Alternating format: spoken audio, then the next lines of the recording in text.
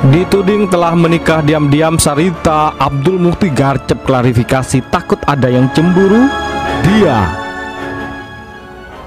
Nama Sarita Abdul Mukti belakangan ini memang kembali ramai jadi perbincangan. Semua itu dikarenakan perseteruannya dengan Faisal Haris mengenai harta gono gini Tengah beredar dalam sorotan muncul banyak rumor dan pemberitaan dari Sarita Abdul Mukti. Salah satunya adalah berita yang menyebutkan kalau wanita satu ini telah menikah dengan seorang pengusaha asal Jogja.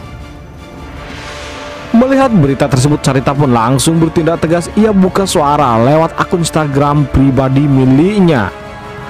Pada hari Senin tanggal 10 Februari 2020 Sarita mengunggah sebuah foto sebuah artikel yang membahas tentang dirinya.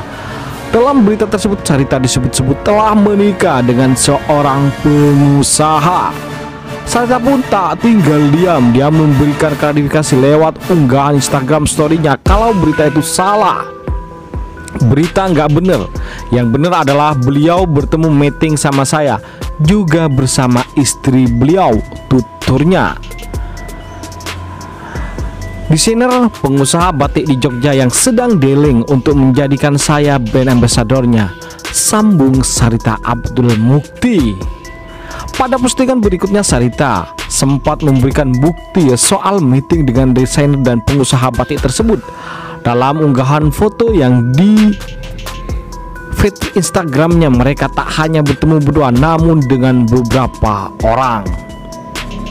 Itulah guys rumor yang menyebut Sarita Abdul Mukti telah menikah diam-diam dengan pengusaha Jogja. Mengetahui hal tersebut, gosip yang beredar, Sarita tak mau itu berlarut-larut sehingga dia garcep mengklarifikasi kejadian yang sebenarnya. Kalau dia hanya rapat takut ada yang cemburu nih ya. Kan dia pernah mengunggah status kalau dirinya sudah ada yang ngelamar. Siapa? Siapa? Ya tunggu jawabnya tapi jangan lupa komentar, like, dan subscribe tentunya. Yuk, bye-bye.